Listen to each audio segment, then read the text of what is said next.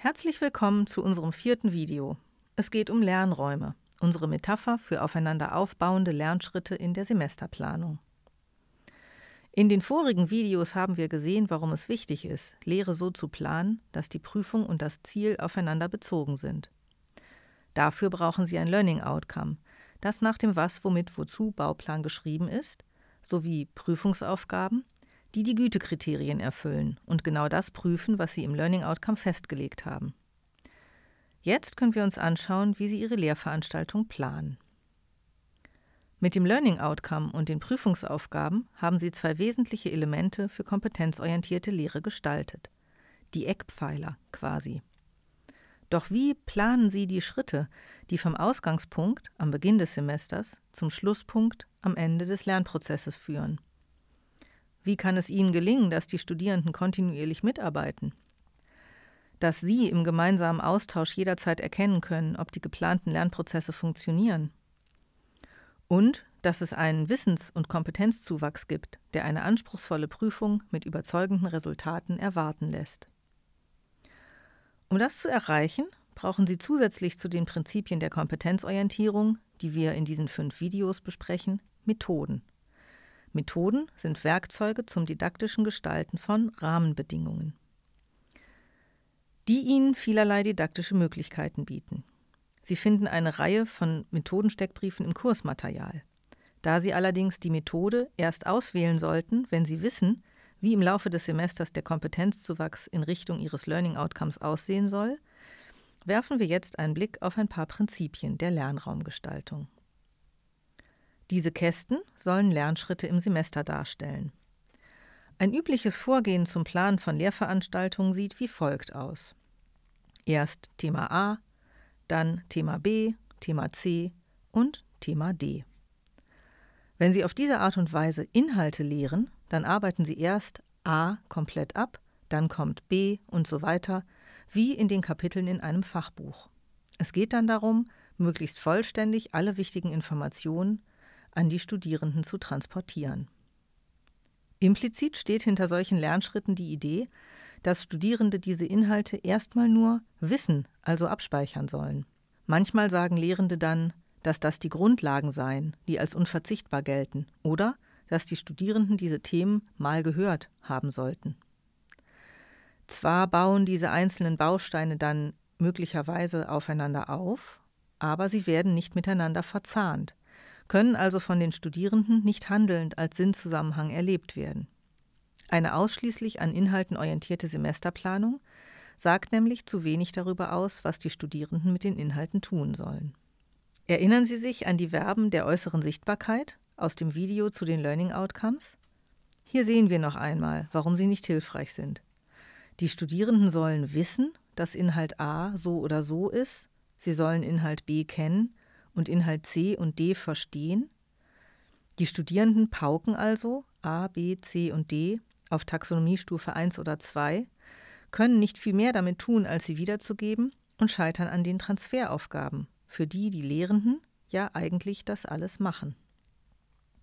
Möglicherweise lernen die Studierenden sogar auf Lücke, weil sie vermuten, dass sich damit die Prüfung schon irgendwie bestehen lässt.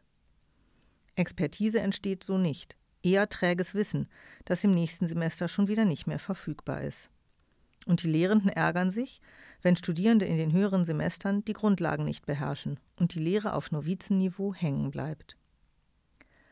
Machen Sie es doch stattdessen lieber so. Definieren Sie, welche Lernschritte ganz am Anfang erforderlich sind, um eine erste, ganz einfache Handlungskompetenz zu erlangen. Das ist für Expertinnen und Experten nicht einfach, aber für Novizen unerlässlich. Es kann also durchaus sein, dass in einem Lernraum mehrere Themen vorkommen, zum Beispiel A1 bis D1. Dabei machen Sie in diesem ersten Lernschritt schon deutlich, wozu die Studierenden die Inhalte brauchen. Sie stellen Aufgaben und diskutieren Theorien, sie geben Feedback und sorgen für Aktivität. Sie verknüpfen also die Inhalte so miteinander, dass die Frage, was soll ich damit tun können, schon ganz früh im Lernprozess beantwortet werden kann. Fällt Ihnen was auf? Das ist unsere Frage aus der Was, womit, wozu Struktur im Learning Outcome. Und genau so ist der Begriff Lernraum gedacht. Eine in sich geschlossene Einheit, zu der Sie ein Learning Outcome formulieren können, die also schon kompetenzorientiert ist. Spinnen wir das mal fort. Es kann durchaus sein, dass Sie Themen auf Einsteigerniveau eingeführt haben und dann später auf fortgeschrittenem Niveau vertiefen. Natürlich auch wieder konsequent kompetenzorientiert gedacht. Sie sollten ein Learning Outcome dazu schreiben können. So geht es für das ganze Semester weiter. Die Handlungsfähigkeit der Studierenden steht also im Vordergrund. Und wenn zu Beginn des Semesters die Handlungen noch sehr novizig sind, dann macht das nichts. Wenn Sie eine Sprache lernen, sprechen Sie ja auch möglichst von Anfang an ganz einfache Sätze und lernen nicht erst 500 Vokabeln auswendig. Nach und nach werden dann die Sätze, die Sie sprechen können, komplexer und beziehen mehr Vokabeln und mehr Grammatikregeln mit ein. Ein wichtiger Aspekt fehlt jetzt noch, die Beziehung der vier Teil-Learning Outcomes untereinander. Sie bauen aufeinander auf. Das heißt, dass die Studierenden die Handlungsfähigkeit aus Lernraum 1 brauchen, um in Lernraum 2 mithalten zu können. An dieser Stelle räumen wir mal unsere Visualisierung ein wenig auf. Vier Lernräume mit vier aufeinander aufbauenden Learning Outcomes ergeben einen kontinuierlichen Kompetenzzuwachs bei den Studierenden. Zwischen den Lernräumen besteht also eine Verbindung, wie eine Tür zwischen zwei realen Räumen. Diese Türen müssen die Studierenden eine nach der anderen durchschreiten, um die Prüfung gut zu bestehen. Und um während des Semesters sowohl für Sie als auch für die Studierenden deutlich zu machen, ob dieser Kompetenzzuwachs auch wie geplant funktioniert, können Sie jede metaphorische Tür für einen Check nutzen. Kurz vor der Prüfung sollte für alle sichergestellt werden, ob die Studierenden auch wirklich so handeln können, wie es geprüft wird. Der letzte Check findet also schon auf Prüfungsniveau statt, denn Sie wollen ja die größtmögliche Transparenz für alle. Und wenn zwischen dem letzten Lernraum und der Prüfung noch ein großer qualitativer Sprung wäre, würden Transferanlässe, Übungen und Kriterien dazu fehlen. Das wäre intransparent. Die Wirkung dieser aufeinander aufbauenden und kompetenzorientiert gestalteten Lernräume ist immens. Studierende, die einen Lernraum auslassen, weil ihnen das zum Beispiel effizienter erscheint oder weil sie es in anderen Veranstaltungen durch das Pauken kurz vor der Prüfung kompensieren konnten, können nicht wirklich weiterarbeiten, weil ihnen wichtige Handlungsfähigkeiten fehlen. Skriptpauken hilft nicht, denn das ermöglicht keinen Kompetenzerwerb, sondern nur Auswendigwissen. Die Prüfung kann also nicht auf dem taxonomischen Niveau bestanden werden, auf das Sie laut Learning Outcome hinaus wollen. Dieses Szenario ist weit verbreitet und führt immer wieder dazu, dass Studierende und Lehrende den Eindruck haben, aneinander vorbeizuarbeiten. Stattdessen zeigt das Lernraumkonzept, Zusammenarbeiten macht Sinn ermöglicht den Studierenden kontinuierlich dran zu bleiben und Verantwortung für den eigenen Lernprozess zu übernehmen.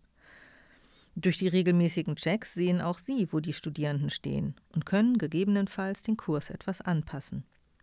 Der semesterbegleitende Zuwachs an Wissen und Handlungsfähigkeit motiviert. Bei jedem einzelnen Check konkretisieren sich Prüfungskriterien, Ängste und Druck werden so reduziert.